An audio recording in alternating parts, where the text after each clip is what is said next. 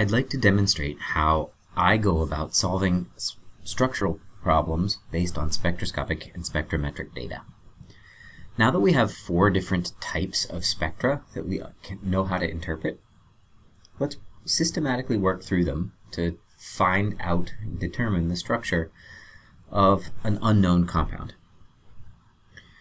From this data, we almost always start with the mass spectrum. In Chem 203, we're almost never, or at least not very often, going to need to interpret the spectrum itself.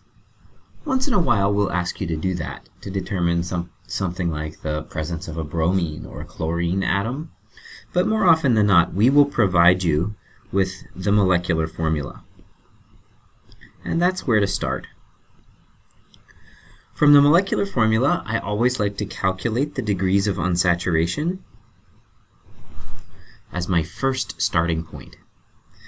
If I calculate the degrees of unsaturation for this particular formula, I find that it's 5. A number that's greater than 4, greater than or equal to 4, usually implies that there's a benzene present. That's not always the case, but it's a pretty good starting point for a large number of degrees of unsaturation. So degrees of unsaturation are where I begin with um, structure solution, then I move to the IR spectrum, and I look for the telltale signs of a few specific peaks that are distinguishable in the IR. The first thing I see here is a peak at 1690 wave numbers. That's very strong. That indicates to me that there's a CO double bond present in this molecule. I also see some weaker bonds, well, close to 1600. That indicates to me that CC bonds are probably present. Because we had CC bonds in the, um, or because we had several degrees of unsaturation, that makes some sense as well. I also see some CH bonds, but those are present in almost all molecules, so I'm not terribly concerned about them. I notably don't have any triple bonds, and I don't have any OH, NH, or um, special kinds of CH bonds, like alkynes. Then I move to the C13 NMR spectrum and basically just count the number of types of carbons that are present. Um, and if there's some special information about them, um, I may be able to notice that as well. Way out here at 200 is an sp2 carbon bonded to oxygen, a carbonyl group. That corroborates the IR spectrum that showed us a carbonyl group at 1690. Then here, I have four peaks it's kind of hard to distinguish the two that are super close together on the, the right, but there are four peaks here, all in the aromatic region of the sp2 region of the spectrum. That probably implies, nice and strongly, that I've got a benzene ring that's, at that's attached to something. Then I notice that I have two types of sp3 carbons. One that's very far to the right with a low chemical shift, that's pretty far from any electronegative, electronegative atoms, and one that's a little further to the left, closer to some electronegative atoms. Then finally, we move to the NMR spectrum, the proton NMR spectrum. This is where we get a lot of information. The first thing I look for are the number of peaks that are present. So here I see one, two, three, four, five peaks. That means I have five distinct types of hydrogen atoms. The chemical shifts tell me something. Between 7 and 8 are hydrogens attached to aromatic rings. Um, I have some sp3 carbons, or sp hydrogens attached to sp3 carbons here. And uh, so those are the one of those sets of hydrogens, the one close to 3 parts per million, is a little closer to some electronegative atoms. Then I look at the integrations. They're represented by these S curves over each of the peaks. And the heights of those S curves represent the number of hydrogens present for those peaks. So I have a 2H peak, a 1H peak, really quite close to another 2H peak, a 2H, and a 3H. 99% of the time we'll provide you with the num number of hydrogens that are um, present for a particular peak. We'll provide you the integration values.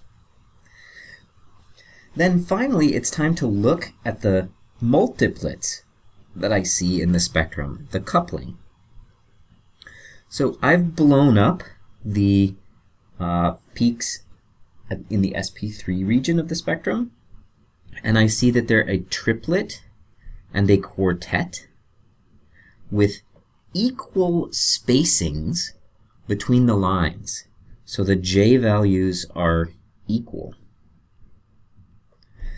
A triplet that represents three hydrogens and a quartet that represents four hydro sorry, a quartet that represents two hydrogens is very telling of an ethyl group.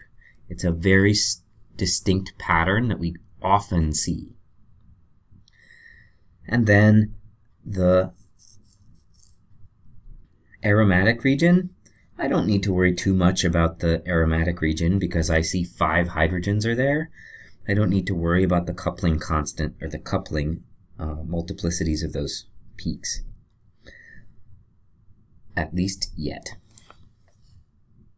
Based on the presence of these fragments that I've identified from uh, my spectra.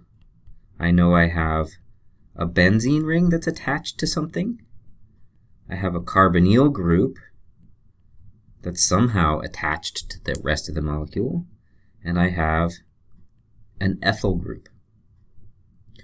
And there's only one way that I can stitch these pieces together, and that's like this. So my molecule is ethyl phenyl ketone. If I was to go further and um, want to annotate this spectrum, I would label each carbon and hydrogen um, with a letter. The A carbon is sp3 hybridized and close to an electronegative atom. It's that carbon. B is the other sp3 carbon. C is the carbonyl group. And I don't have any way of distinguishing the carbons D, so I'll just group them all together. We can also assign the hydrogens, and here we can get a little bit more detailed. So I'll assign the hydrogens in orange. A and B are these peaks. A is a quartet because it has three neighbors. B is a triplet because it has two neighbors. And then in the aromatic region, these two hydrogens are equivalent to each other. These two hydrogens are equivalent to each other. And E is unique. E I can identify as the small peak because it has only one hydrogen in its integration. It makes sense that it's a triplet because it has two identical neighbors. D, those protons at D have two neighbors each, a neighbor at C and a neighbor at E, so should be a triplet. That means that this peak corresponds to D. And the protons at C have one neighbor each, just the proton at D. So we can annotate our spectrum like this.